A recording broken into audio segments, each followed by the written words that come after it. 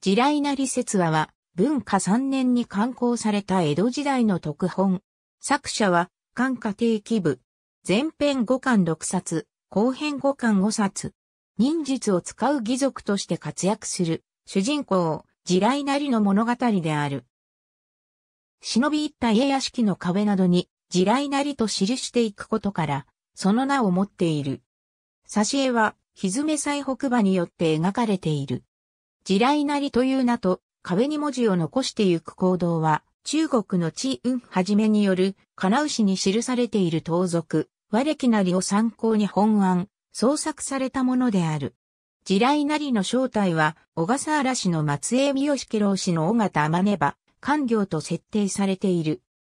忍術を使い盗みを働く、義族、地雷なりは、妙高山の偉人から学んだガマガエルの妖術を使って祭天草の力で不死身の身となった加野援軍太夫に父を殺された武士優とも吉郎の仇討ちを助立ちする。文化4年には大阪で歌舞伎に脚色されている。